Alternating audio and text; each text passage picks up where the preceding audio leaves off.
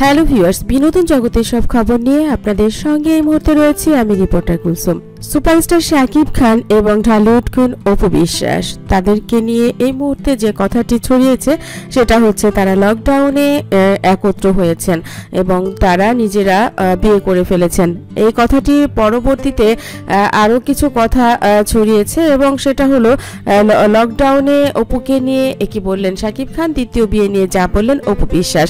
বন্ধুরা, আপনারা জানেন আমার চ্যানেলটি মূলত রিভিউ চ্যানেল। বিভিন্ন চ্যানেলে, বিভিন্ন টিভিতে এবং বিভিন্ন পত্রিকাতে যে কথাগুলো আসে সেগুলোরই মূলত রিভিউ করে থাকি আমার চ্যানেলটিতে হ্যাঁ বন্ধুরা সুপারস্টার শাকিব খান বেশ কিছুদিন থেকেই অপু বিশ্বাসকে প্রশংসা করে আসছিলেন এবং আমরা দেখতে পেয়েছি যে তাদের দুজনের মধ্যে একটা কেমিস্ট্রি চলছে।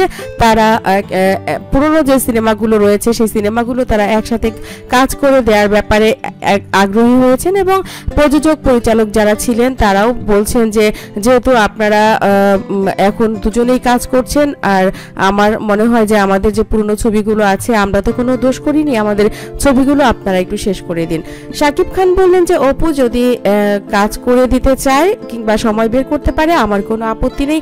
আমাকে শিডিউল মিলিয়ে দিলে আমি কাজগুলো শেষ করে দেব, আমার কোনো সমস্যা নেই। শাকিব খানের এই কথাতে অপু বিশ্বাস অনেক বেশি খুশি হলেন এবং তিনি বললেন যে অবশ্যই তিনিও চান যে, প্রযোজক পরিচালক যারা রয়েছেন তাদেরকে আটকে না রাখতে। কারণ একটা সিনেমা লগ্নি করা মানে অনেকগুলো টাকা এখানে লগ্নি করা এবং তারা যদি সিনেমাটা মুক্তি দিতে না পারে তাহলে এই টাকাগুলো যে খরচ হয় সেগুলো আটকে থেকে যায়।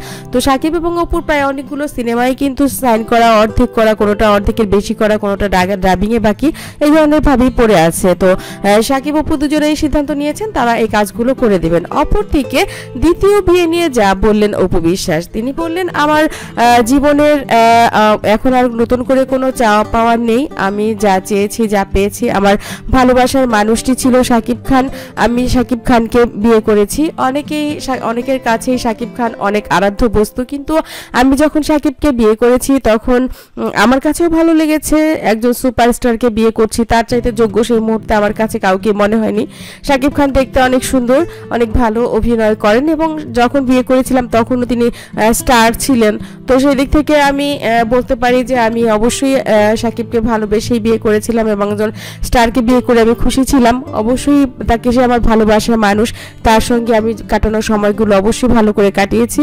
এখন দ্বিতীয় বিয়ে নিয়ে মুখ খুল লেন বলতে যেটা বোঝায় সেটা হচ্ছে যে আমার জয়ের জন্য যেটা আমার জন্য মঙ্গল, আমার পরিবার থেকে বা সাকিবের পরিবার থেকে যেটা মঙ্গল মনে করবেন, সেটাই আসলে আমাদের দুজনেরই মেনে নেওয়া উচিত। এ ব্যাপারে আসলে আমার আর কিছু বলার নেই নতুন করে। কারণ মানুষের জীবন কাটাতে হবে।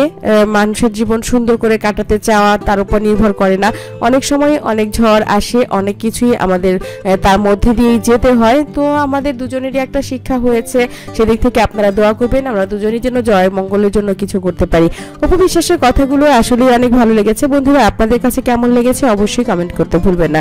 আমার চ্যানেলটি যারা ইতিপূর্বে সাবস্ক্রাইব করেছেন, তাদেরকে অনেক ধন্যবাদ। যারা এখনও করেননি, সব খবর সবার আগে পেতে সাবস্ক্রাইব করে বেলাইকনে ক্লিক করলে আপনাদের কাছে পৌঁছে যাবে বিনোদন জগতে সব খবর সবার আগে। ভালো থাকবেন, ভালো রাখবেন, প্রিয়জনকে ধন্যবাদ।